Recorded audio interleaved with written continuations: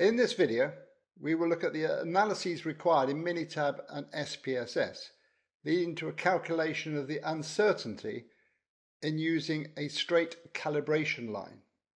This calculation is based around this equation, which shows the uncertainty ux in the x direction of an intercept at a value of ys in a straight calibration line, where SE is the standard error of regression. M is the slope of the calibration line. N is the number of values used to provide the calibration line. And K is the number of replicate measurements used to get a best estimate for the Y value YS. Y bar is the mean value of the calibration points and Sx squared will be the variance of the X data values in the calibration line. Starting with the data in Minitab, we have the values of absorbance recorded against the standard values of concentration used to develop the calibration graph of a spectrophotometer. It is useful to check the linearity of this calibration first by observing the residuals of the data against a best fit straight line. So we go to stat, regression, regression. The response variable is absorbance, and the predictor is the concentration. And we go to graphs, and we will choose standardized residuals, and we will request a graph of residuals against fits. So we click OK, and then run the analysis. In the graph, we see these standardized residuals plotted at each value of the observed absorbances. And we can see that there is an apparent curvature in the data in which the first five points show an apparent linear response, but with the higher points curving significantly away from the best fit straight line. This is not unusual in such calibration lines, especially where the higher concentrations show a reduced absorptivity, causing this curvature at the top of the calibration. However, in this analysis, we are only interested in the calibration range up to an absorbance value of about 1. So it is convenient to ignore this curved part of the calibration line and just use the first five points. We can derive the same residual plot in SPSS by going to Analyze, Regression, Linear. The dependent variable in this case is the absorbance and the independent variable is the concentration. We will also go to plots and the y value for our plot will be the standardized residual and the x value will be the dependent variable which in this case is the absorbance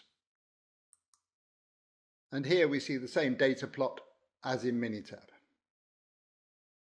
Returning now to Minitab, we go to the original data and we have decided to remove the two upper data values and we will now rerun the analysis just using the, these five calibration points. Stat, regression, regression. We can now see that the five residuals provide a more random distribution on either side of the best fit straight line, which suggests that there is now no significant curvature within this section of the calibration line.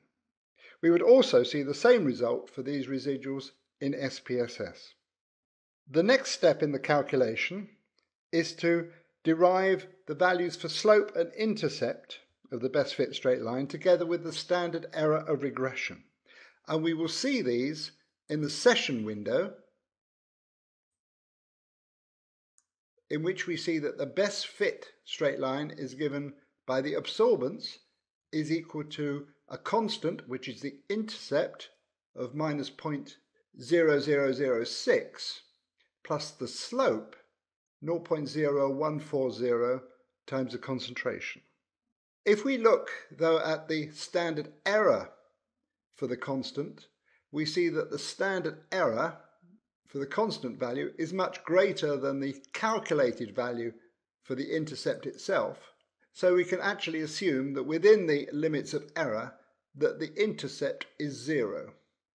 And this gives an equation for the best fit straight line of the absorbance is equal to the slope of 0.0140 times the concentration with the line of best fit passing through the origin of the graph.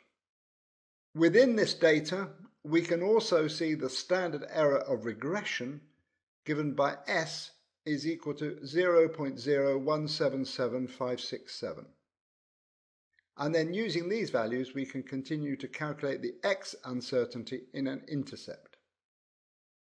In SPSS, we can also delete the top two values in the calibration data and rerun the regression analysis. And in the printed results, we see the standard error in the regression of 0.017757 again. And we get the same values for the intercept, which again we can assume to be zero, and for the slope, which in SPSS is recorded to three decimal points with a value of 0.014. So returning to this equation, we can see that we have already derived the standard error of regression, SE in this case, the slope of the best fit straight line, the value of m, and if we're looking for the intercept in the middle section of the calibration line, we do not need this last term within this square root. So now we have all the necessary information. However, for intercepts further away from the middle of the calibration line, we also need to calculate the mean of the y values in, in the calibration and the variance in the x values. And we can do this easily in both Minitab and SPSS.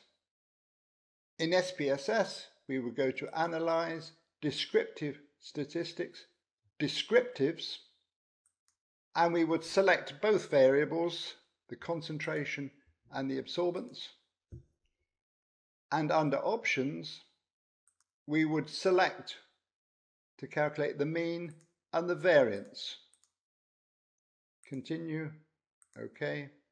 And that we can see under descriptives, for the concentration, which is the x values, we have a value for the variance.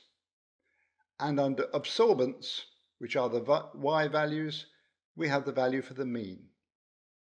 In Minitab, we will go to Stat, Basic Statistics, Display Descriptive Statistics. We would select both variables, and under Statistics, we would want the mean and the variance. Okay, okay.